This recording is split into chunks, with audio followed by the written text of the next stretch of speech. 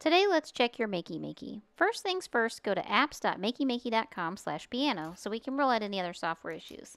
You're going to take the red USB cable. There's a big end and a little end. We're going to take the big USB end and plug it into our computer.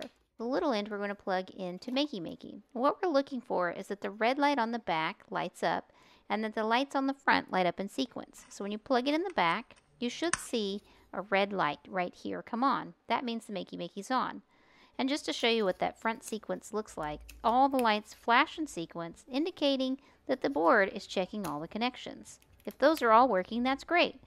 Now let's play the piano. So this piano works with the arrow keys, and so does our Makey Makey. Hold earth, and then use your finger to press on each key pressed, and see if the lights come on, and if the on-screen keyboard keys are responding.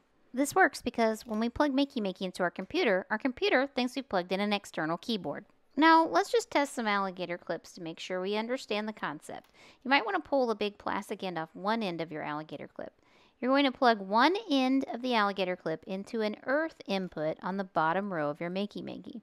And then take that same alligator clip where you pulled the head off and test. The light should come on for each key press as you press the metal head against the metal input.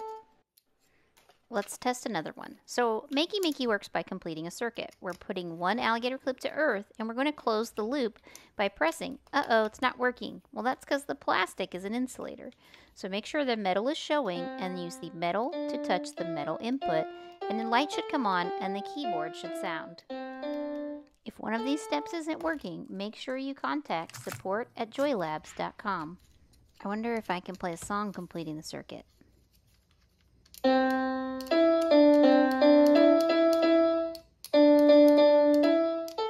Now that we've plugged in our Makey Makey and played a little tune, let's go to our how-to page and really delve into the world of invention.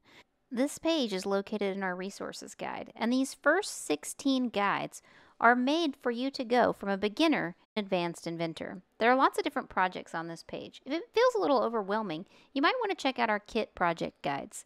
This is a focused group of projects for specific materials. If you go to the Craft and Code Booster Kit, you'll find a balanced combination of creative materials to use with these specific projects. You can draw circuits, you can create a tiltable joystick, all with these booster pack materials. The best thing about these is we have new free apps that go along too. If you're still curious to find more, you can use the magnifying glass to search something that you would look for. Let's try music. Here you can find all kinds of amazing resources, as this searches our blog and our guides. All of these activities and guides are available at makeymakey.com, so make sure to check it out, because with Makey Makey, you'll start seeing the world as your construction kit. Be warned, extended usage may lead to creative confidence.